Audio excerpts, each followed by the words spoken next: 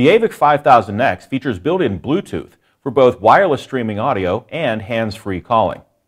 To get started making calls, make sure your phone is paired, and I know my phone is paired because I see the Bluetooth logo lit up on the screen here, and we can touch the, uh, the phone button. Now there's a number of different ways that we can make phone calls.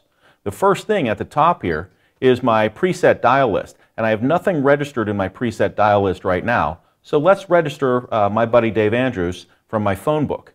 There's Dave Andrews, and we're going to register him by pressing this button right here.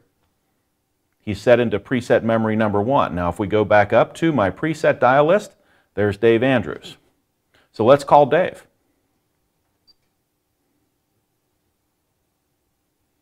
Press here to get access to a keypad if you need to enter any data on the phone call. The private button will switch to handset mode. And this is how you adjust the volume on the phone call. Just press the red hang up button to end the call. I can get to my entire phone book right here. I can check my incoming and outgoing calls here. When the vehicle was safely stopped and the parking brake is engaged, I can get to a keypad and dial a number here.